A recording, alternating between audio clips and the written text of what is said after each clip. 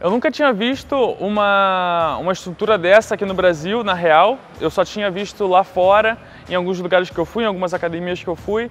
Vejo em muitos vídeos de, de preparação de atletas de futebol americano, de, de futebol, de vôlei, de basquete. Então isso aqui está muito inserido nos Estados Unidos e eu nunca tinha visto aqui no Brasil.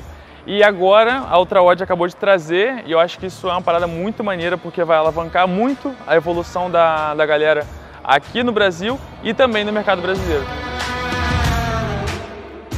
E eu acredito, cara, que agora o dono de box vai ter uma oportunidade de conseguir deixar essa pessoa num lugar só, em, tipo, por exemplo, na academia dele ele vai poder oferecer aulas de crossfit, vai oferecer também aulas de musculação dessa estrutura porque é uma estrutura completa. E eu acredito que isso aqui, tipo, é um, é um divisor de águas, assim, para o dono de box e também para as pessoas de qualidade de vida.